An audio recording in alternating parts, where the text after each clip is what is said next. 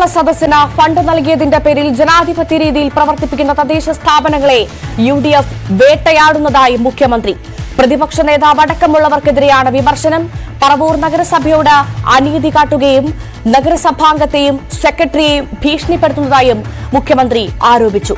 U D F M L എമാർ ബഹിഷ്കരിക്കുമ്പോഴും ആയിരങ്ങൾ നവകേരള സദസ്സിൽ പങ്കെടുക്കുന്നതായും മുഖ്യമന്ത്രി പ്രതികരിച്ചു.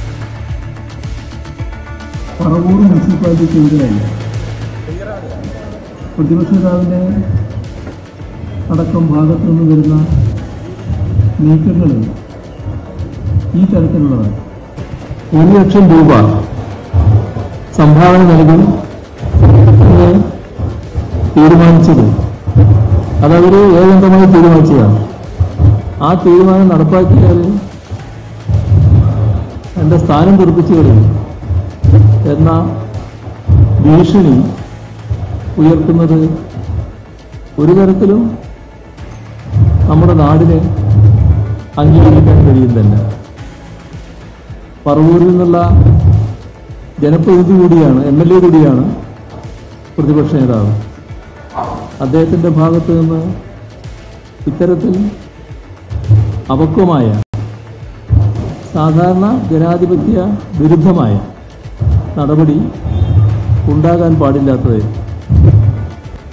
പ്രാദേശിക ഭരണ സംവിധാനത്തെ തങ്ങളുടെ സങ്കുചിതമായ വീക്ഷണത്തിന്റെ ഭാഗമായുള്ള ദുഷ്ടലാക്കോടെ ജനാധിപത്യ വിരുദ്ധതയിലേക്ക് വലിച്ചെടുക്കുന്നു എന്നുള്ളതാണ്.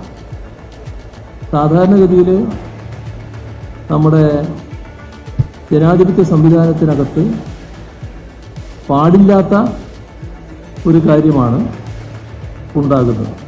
നേതൃത്വമെടുത്ത ബഹിഷ്കരണ തീരുമാനം. കോൺഗ്രസിന്റെ തന്നെ പ്രാദേശിക നേതാക്കൾ.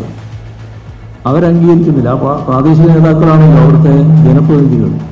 ഇതാണ് പൊതുസമൂഹത്തിന് യോജിപ്പില്ലാത്ത തീരുമാനമെടുക്കുന്ന ഏതൊരു കൂട്ടർക്കും സംഭവിക്കുന്നത് എന്നത് തിരിച്ചറിയാനാവണം അതിൽ പിന്നെ ക്ഷോഭിച്ചിട്ട് കാര്യമില്ല.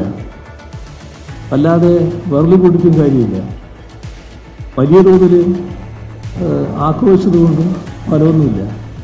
സ്വന്തം പാർട്ടിക്കാരായവരെ പോലും ബോധ്യപ്പെടുത്താൻ കഴിയാത്ത ഒരു തീരുമാനമാണ് ഇതിന്റെ ഭാഗമായി സ്വീകരിച്ചത്.